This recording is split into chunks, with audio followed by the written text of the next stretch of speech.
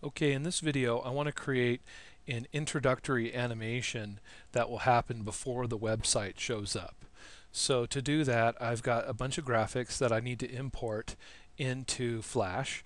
I've changed the background to black. Okay, I've got a default setup here, Window, Workspace, Classic, and I hit reset. I hit reset Classic so that you could see the default workspace. Next thing I did was my website, I'm going to have it created for uh, 1024 pixels wide and 768 pixels tall. So just click edit here and you can set the dimensions, the width and height of your website. You can also set from right here your background color and your frame rate. My frame rate's at 24 frames per second. So if you want to follow along, those are my settings. Okay, I'm going to import some graphics here. In Photoshop, you can see here I've got some images that I'm working with here and um, I've got these images and I need to get these images into uh, Flash okay? I've also got some other things too so we'll import some of those images right into Flash. This is Photoshop right now so I'll close that and I'm just going to say file import import to library.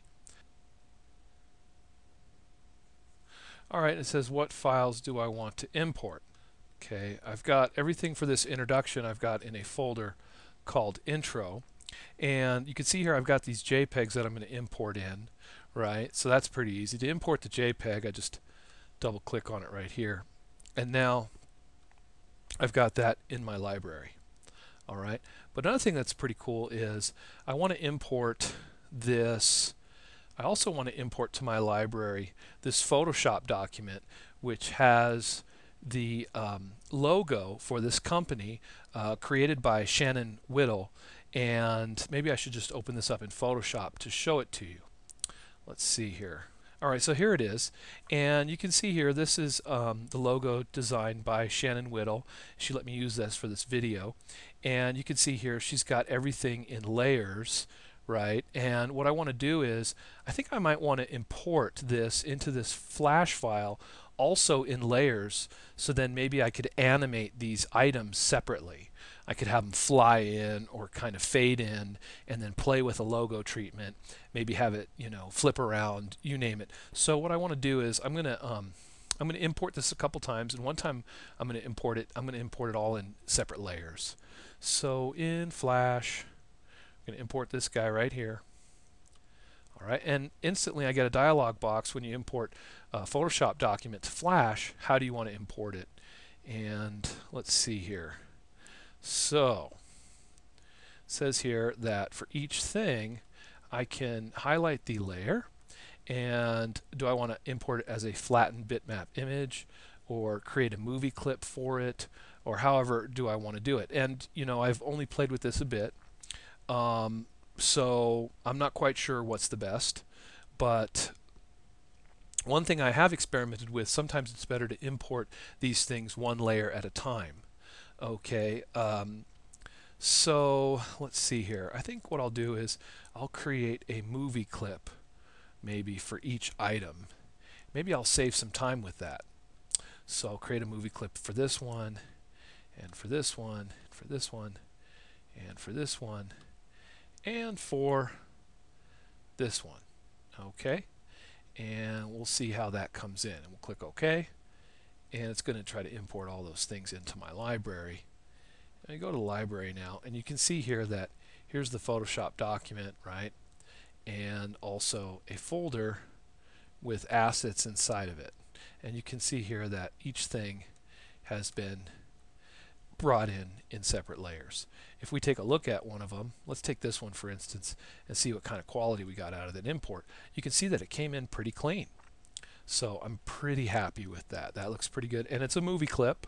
All right, it says movie clip here. So I'm ready to animate this right off the get-go. I'm just going to delete that from the stage. Okay, for this intro animation, it's time to add our first animated object, we've imported some graphics into our library and we're ready to go. So the first thing I want to do is I'm going to grab this one right here in the group folder. I'm going to click down until I get to this bar. It's right here. And I'm going to drag this bar to the stage. Okay, it drops right in. And uh, I need remove tool. Okay, so there it is. and I want to do an animation for this one right here right so that's what I want to do is is do an animation for this so the first thing I'm going to do is I'll say I want to animate this guy in I want him to fly in let's say and then I'll add some extra stuff to him to make it cool so first thing I'll do is insert motion tween and so after you do an insert motion tween, it gives you a keyframe and then some frames and the playheads at the end here. It says, well, where do you want to end up basically? I've got to set the ending point. And I want the ending point to basically be almost in the same place. So in other words, I need to move it now to where I want it to end up. And I want it to end up, let's say, right here. Okay, so now if you were to play this animation, you'd say control play, and it just goes from there to there. Well, that's cool, but not exactly what I wanted. So what I'll do is I'll move the playhead back to the beginning, to the first frame, and then move the bar over, let's say, to here. And so now, if I hit control play, he moves from there to there. Well, now I'm at the, at the playheads at the end. I can say, well, no, I want him a little bit lower right? And now Flash automatically adjusts, and now if I hit Control Play, it moves from there to there. And so I can keep playing with that. Not only that, I can take this curve, this, this curve here, this motion guide, and I can curve that. And now I've got a curved path for my animation. And that's one of the beauties of this new Flash CS5, Flash CS4 animation tools, when you do an insert motion tween, which we did before, as opposed to a classic tween, we can set that motion path really easily by just dragging and changing that. You know, I could try to see how that looks, right? And say, okay, I want that, right? That's pretty cool. And not only that, I can go and I can click on this guy right here, or click on the, the frame right here even, and what I want to do is set easing. So I've clicked right here and I'm going to set the easing. I'll drag, click and drag that to 100. And so now you see how these dots on the motion paths kind of get close together at the end. That means it's going to slow down here at the end. So now if I hit control play, it kind of slows down at the end, right? So that's cool.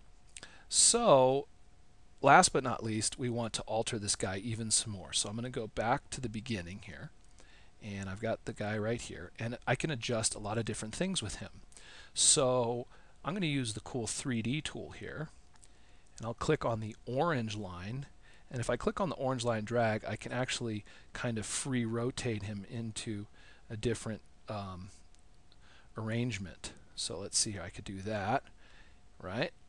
And then I could use the arrows on my keyboard to drag him over even some more maybe up some more and I could also get the scale tool, hold on the corner, there we go, and make him even bigger. So now he's going to scale in. So now if I hit control play, he starts to animate in, but it's not exact, he doesn't end up where I want.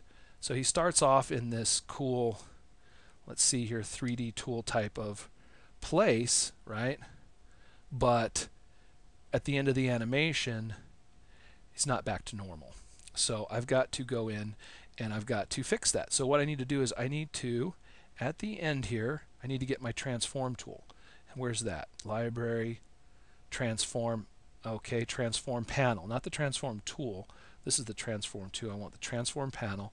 And I'm going to set the rotation back to zero. And I'm going to set the, the 3D rotation all back to zero too x, y, and z.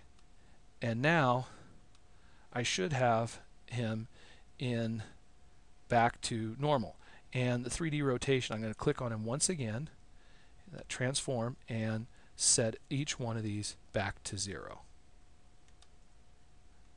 And if I hit if I click now on the transform tool, you'll see that X, Y, and Z are all set to zero.